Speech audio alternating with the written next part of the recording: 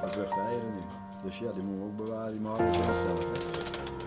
Die, uh, dat, uh, daar kwam uh, Christian van de Wetering, maal uh, Jill, zoon Jill van uh, Peter van der Merwe. Die gaan naar uh, liefhebber toe, ik weet niet. Wij zijn komen uit Verzoeren. Afgelopen zaterdag hebben wij een eerste nationaal chartreux gevlogen van heel Nederland en dit is onze accommodatie. Aan de linkerkant staan de, uh, zitten de jonge duiven. Um, dat zijn er ongeveer uh, uh, 25. In het midden zitten de duivinnen. Dat zijn er een stuk of 20. En rechts zitten de doffers. Dat zijn een stuk of 12. We hebben aanpassingen gemaakt op het hok destijds. We hebben de vorst omhoog gegooid, omdat het, het hok zelf niet fris rook. Uh, we hebben daardoor uh, de ramen eruit gehaald, we hebben de windbreekgaas voor gedaan en de verluchting uh, hebben we wat meer opengemaakt.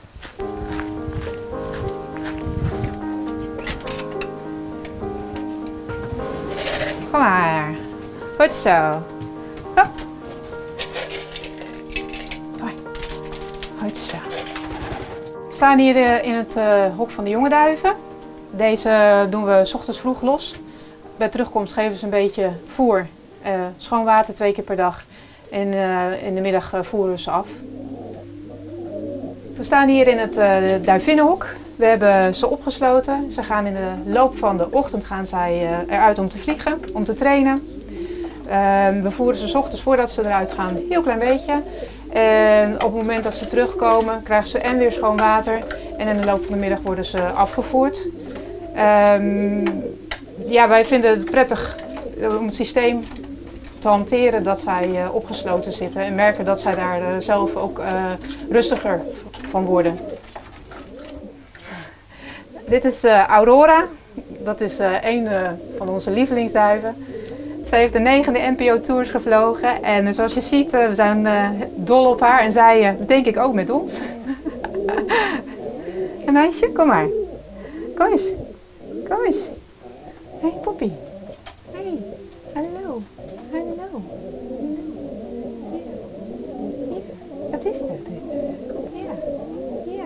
Wat is dat allemaal? Ja. Ga je weer terug? Kom maar. We spelen dubbel weduwschap. Um, de doffers die uh, trainen los van de duivin uiteraard. Uh, we doen hun aan het einde van de middag. Uh, s ochtends krijgen ze een beetje voer. En aan het einde van de middag worden ze ook afgevoerd. Twee keer per dag schoon water krijgen ze. En als ze voor de vluchten zitten, dan um, ligt er een beetje aan, aan de vlucht. Um, wat Alfred denkt of ze lang of kort getoond moeten worden. Soms is dat een uurtje. En dan wordt uh, de betreffende duivin weggehaald en de volgende getoond.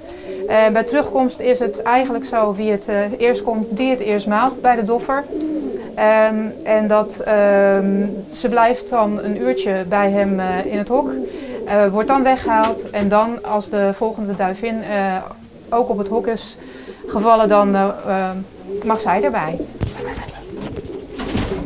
Ik heb twee, voeren, twee soorten voer. Dat is Gerry Plus Black Label en Champion Plus Vlieg, ook Black Label.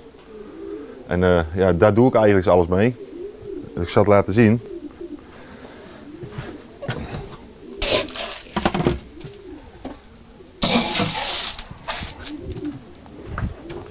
Dit is de Gerry Plus Black Label. Daar wordt bijna de hele week mee gevoerd. Want het is niet te vet, precies goed. En dit is het vlieg, dat is al zwaarder. En daar voer ik ja, ze eigenlijk mee op tot, het, tot de vluchten. En uh, ja, je ziet het verschil. Kijk, de zwarte maïs, daar zijn ze gek op. In het begin willen ze dat niet graag eten, maar als een duif honger heeft, op een gegeven moment dan leert hij het eten. En na een paar dagen dan is de zwarte maïs als eerste uit. En dan komt de rest pas. Dus ze vinden het heerlijk. En ik heb zaterdag uh, uh, donderdags voor de vlucht heb ik met de hand de zwarte maïs er nog uit zitten halen samen met mijn kinderen. Dan denk ik, geef jullie eens wat extra's. En dat kost me nog een euro per, per kind om ze eruit te halen. Maar ja, goed, misschien heeft dat ook een klein beetje meegeholpen, ik weet het niet. Ik het, voor de rest voer ik op op gevoel. En als ik het niet weet, dan vraag ik het aan mijn mentor en dat is mijn vader. Nou, ik ben Aart van Zoeren. Ik ben eh 71 jaar. Ik ben de vader van Alfred en de schoonvader van Rianne. Eh, dit is eh, ons, of mijn accommodatie. Dit is, dit is het kweekhok van Alfred en mij. Eh, de meeste worden hier gekweekt. Er wordt ook een duiven bij Peter vandaan. Die helpt ons, ons ook fantastisch goed.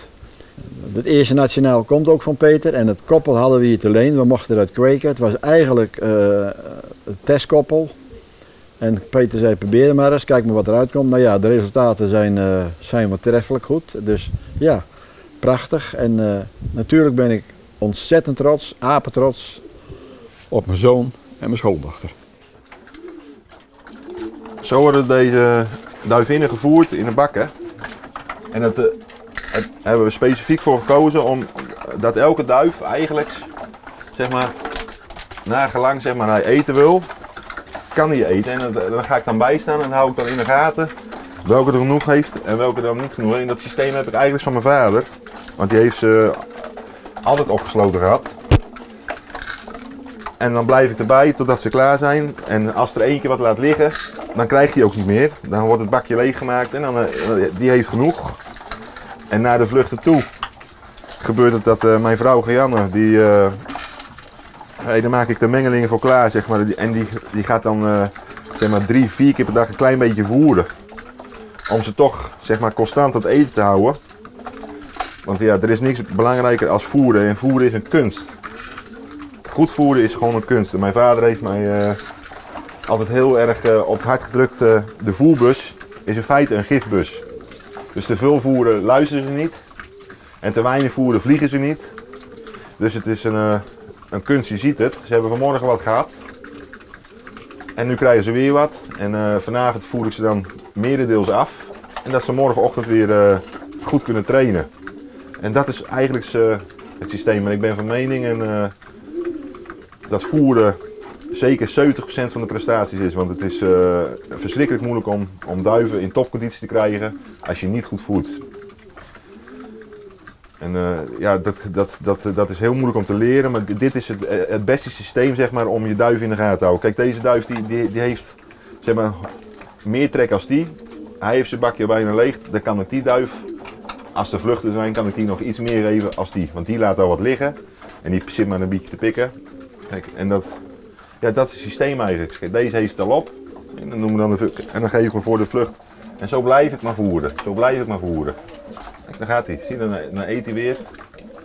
En deze die, die mag ook nog wel wat hebben, want die zit al te kijken waar het eten blijft. Kijk. Die wordt onrustig. En zo, zo kijk ik naar mijn duiven. Wat heb je nodig? Dat krijg je van me. En niet meer en ook niet minder, want je moet ze gewoon heel erg goed verzorgen wil je op dit niveau presteren.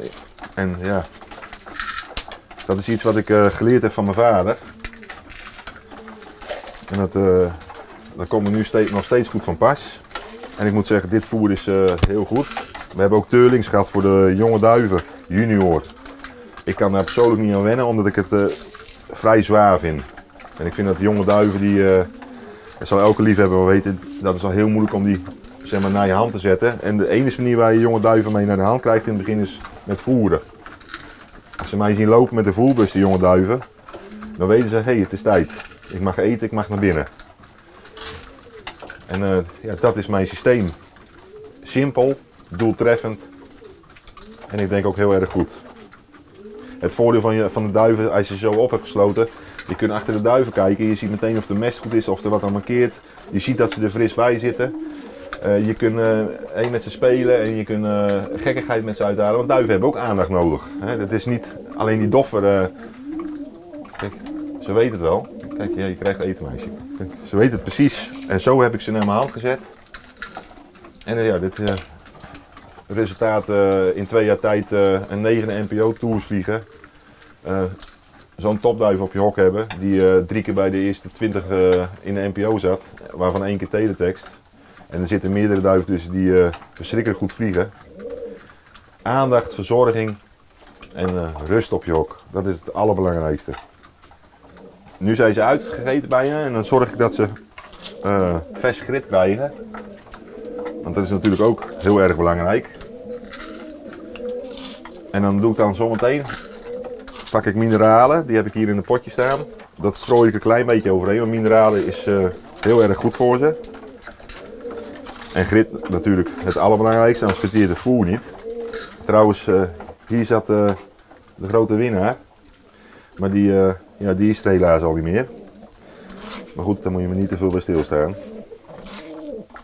En zo voer ik dan, eh, ja, eigenlijk constant ben ik met mijn duiven bezig om ze in topconditie te krijgen.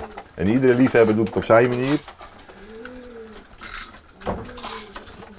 Kijk, want nu even het grit en dan pak ik eh, de mineralen. Dat strooi ik dan een klein beetje eroverheen. Het is belangrijk dat ze dat ook. En soms is het wel eens eh allerhande. Maar niet te veel, want er zit weer veel te veel zout in. Dan gaan ze weer meer drinken. Kijk. En het leuke ervan is, als er dan nog een klein beetje voer in zit, dat ze er, er toch doorheen moeten pikken om dat voer te pakken. Dus dan hebben ze ook automatisch die mineralen weer te pakken. En zo ik de hele dag bezig totdat ik ga slapen smiddags, want ik reis naar Skippen. Dus ik eh, heb overdag wel wat tijd voor de duiven, maar ja, ik moet ook mijn rust nemen. Dat is het duif, duivinnensysteem wat ik heb. Hier staan we bij de doffers. Ja, die worden in feite precies hetzelfde gevoerd als de duivinnen, alleen die hebben dan gezamenlijk wel de drinkerspan. Maar ik voer ze wel weer met het schepje naar gelang wat ze nodig hebben. Dus eh, ja, ik heb de, de, doffers alleen met de Vitesse en een paar midvondvluchten meegedaan. En die, eh, die moeten op de natoeren eh, kunstjes laten zien. En dan mogen de duivinnen gaan rusten. Dus eh, zo probeer ik eigenlijk het hele seizoen met weinig duiven eigenlijk toch mooie prijzen te pakken. Ja, dat is een keuze die je maakt. En het bevalt me goed. En dan ga ik ze voeren. Dat weten ze wel. En die krijgen dan één schepje voer. Totdat ze het op hebben. Kom ik over vijf minuten terug. Dan krijgen ze weer een schepje. En dan is het klaar. En dan eh, kom ik weer terug na vijf minuten. Is het niet op, haal ik het weg. Dus het is eh, eten. Niet lopen knoeien. En dan is het genoeg. Want, eh, ja, te veel voeren nogmaals. Kijk, deze is, dit is een van mijn favoriete doffers. Dat is de baas eigenlijk. Als ik eten geef, dan, dan hij weet het wel. Eh, een bliksem. Zo worden de duiven hier verzorgd bij ons. En, eh, best wel een, hier is het potje weg. Ik ga zo in het hoekje. Best wel een intensief systeem. Maar ook een vruchtbaar systeem, denk ik. Je houdt alles overzichtelijk. Je weet precies welke duif eh, eet, omdat je dagelijks je duiven voert. Dus je kunt ze in feite nooit te veel voeren. Want dat ligt dan puur aan het schepje wat je zelf eh, geeft. En weet al, zeg ik moet eten hebben, ga ik mijn bak in. En je ziet het, ze weten het precies.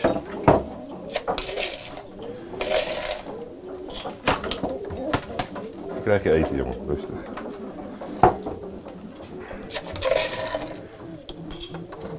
Zo. En dan wacht ik vijf minuten. Nu krijgen ze wat minder omdat ze nog geen vlucht hebben. Maar normaal gesproken krijgen ze dan nog een schepje. En als dat nou niet op is na eh, een minuut of tien, vijf à tien, dan haal ik, eh, pak ik mijn voerbus en dan gooi ik het terug. En dan gaan ze drinken. En hier geldt weer precies hetzelfde. De mineralen worden bij de potjes ingedaan, niet op de grond. Gewoon bij de potjes, dat ze allemaal een eigen deel hebben. Want de ene die is sneller dan een ander. En zo worden de doffers verzorgd. In feite precies hetzelfde als, eh als de duivinnen.